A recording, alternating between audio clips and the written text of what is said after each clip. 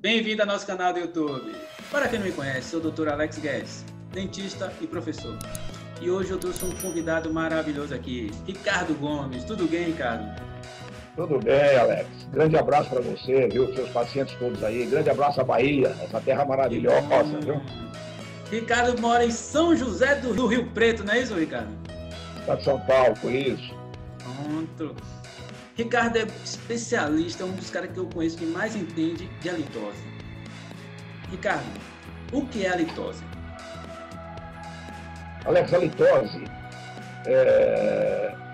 nós temos na literatura mais de 64 origens, etiologias de mau hálito ou halitose. Dentre toda essa gama de possíveis doenças originando a halitose, nós nos concentramos em média é, 96% da casuística dentro da cavidade bucal. Agora, aí dentro dessa cavidade bucal, a gente abre um leque, onde nós temos que ver uma série de prováveis distúrbios que acontecem dentro da nossa boca. Por exemplo, se esse paciente que está se queixando do mau hálito, se é um paciente xerostômico, o que quer dizer isso? Paciente que tem baixa salivação. Ah. Se esse paciente é xerostômico, nós temos que descobrir a origem dessa xerostomia. Normalmente é porque esse, esse paciente ele é usuário de medicamentos que provocam a secura da boca. Ou também teve câncer, né, Ricardo? A pessoa também teve Foi. câncer na Foi. região da Foi. face. É, exatamente. Agora, se esse paciente também é um paciente portador de uma doença periodontal. As doenças periodontais também têm uma casuística muito forte, o mau hálito. Só para a pessoa que está vindo aqui, Ricardo, rapidinho, a doença periodontal é uma gengivite, é uma periodontite, são exemplos de doenças periodontais. Exatamente, são doenças da gengiva, né? A gengivite, a periodontite. Se o indivíduo, se esse paciente for portador de uma dessas doenças, gengivite, periodontite, nós sabemos também que há uma origem, através dessa doença, de compostos mal cheirosos, Outra coisa, se esse paciente é um paciente que não toma sol, ele não tomando sol, e acontece muito, aí na Bahia acho que não tanto, né? É. Aqui em frio já é 20 graus. Não toma, é, não tomar sol, ele tem uma dificuldade muito grande em formar ou ativar a vitamina D. Ele não tendo uma boa ativação da vitamina D, costuma-se, na cavidade bucal, acontecer uma descamação. Então, nós temos que introduzir muitas vezes a vitamina D e pedir para tomar sol. Agora, o que, que, tem a ver essa descamação com o mau hálito? A cavidade bucal, Alex, ela é revestida por um tecido chamado tecido epitelial. É um tecido muito tênue, muito fino, e esse tecido, as camadas que se sobrepõem uma a outra, formando o, tecido epitelial, há, quando há esfoliação desse tecido, quando ele sai fora, desprende da, da, da, da mucosa, ele está preso entre eles por pontes de sulfídicas, pontes de enxofre, e bactérias que, que convivem, que estão na cavidade bucal, chamadas bactérias anaeróbias proteolíticas, elas vão metabolizar essa pelinha que soltou, esse tecido que soltou, e vai dar origem a compostos sulfurosos, de cheiro muito forte. Vou te dar um exemplo.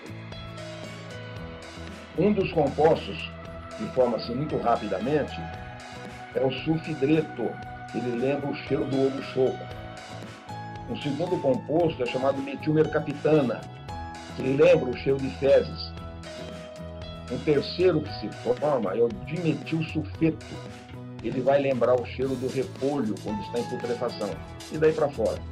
Normalmente, quando há essa degradação dessa pelinha de bactérias anaeróbias proteolíticas, há degradação simultaneamente originando todos esses compostos que eu estou te falando. Então, o odor realmente é muito forte. E esses produtos, vamos assim, assim chamar, é, para degradação, eles estão sobre a língua. Descama toda a cavidade e fica sobre a língua. E ali sobre a língua, além dessa célula descamada, nós vamos ter a presença também de restos alimentares proteolíticos. Lembra-se que eu falei que as bactérias que degradam essa pelinha são proteolíticas. E todo o material que nós consumimos, que são de origem proteica, que ficam sobre a língua ou entre os dentes, o espaço interdentário, entram na decomposição por essas bactérias e vão originar todos esses odores fortes. Ricardo, e por que quem tem mau hálito às vezes não sente? Só quem sente é o marido, a esposa, o amigo. Por que existe isso? Boa pergunta, Boa pergunta Alex. É o seguinte: muitas vezes nós temos indivíduos que apresentam um hálito muito forte, muito forte, e ele não sente o cheiro. No entanto, quem está ao redor dele, a esposa, a namorada, a amiga, o amigo, no trabalho, o pessoal da, da, do trabalho, está sentindo o cheiro, está sentindo esse odor forte. Por que, que muitas vezes o indivíduo não sente o cheiro? Porque as células que compõem o olfato se adaptam muito facilmente ao próprio cheiro do indivíduo. Ou seja, nós nos acostumamos a sentir o nosso cheiro. Vou, vou dar um exemplo para o pessoal que está assistindo, está ouvindo, facinho de entender isso. Você, Alex, vai aí uma boutique que vende perfume e compra o melhor perfume que tem na boutique. Vai para casa e usa aquele perfume 15 dias. Na terceira semana, você já não está mais sentindo aquele cheiro gostoso do perfume. Verdade. Você fala, ah, isso, é, isso aqui é de origem paraguaia. Isso aqui é falso. Vai lá reclamar. Não é, é que o nosso sistema olfatório, ele se adapta àquele tipo de cheiro. Se você tirar o perfume do uso e colocar uma outra colônia, um outro odor diferente daquele primeiro, você passa a sentir um cheiro gostoso. Fica mais 15 dias usando o segundo. Quando volta para o primeiro, sente tudo outra vez o cheirinho gostoso. Isso acontece com o nosso hálito, com os nossos odores corpóreos também. Entendi. Que bom. Espero que o pessoal tenha se esclarecido bastante aí. Obrigado, Ricardo.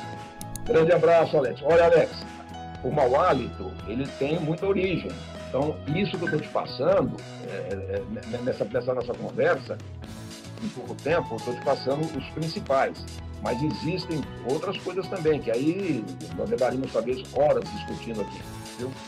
Tá certo, obrigado.